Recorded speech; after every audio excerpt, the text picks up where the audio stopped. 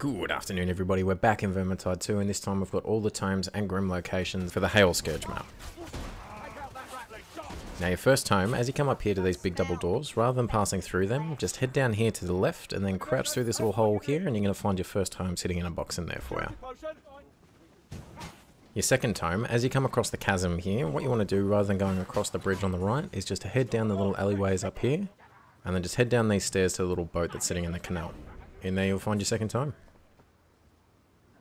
Your first room's a bit of a sneaky one. As you're coming down this sort of vertigo-inducing area here, chuck a quick U-banger and then head into this dilapidated building here and you'll find your first Grim sitting in a bookcase there.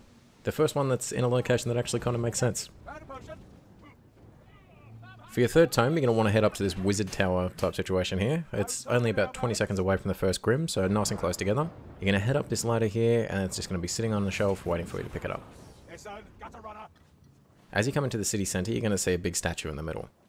Now your second Grim is up on the balcony of one of these houses here, so you're going to get up there by shooting at this Nurgle cluster, which is going to drop a ladder, and you're going to climb up that to get your second and final Grim.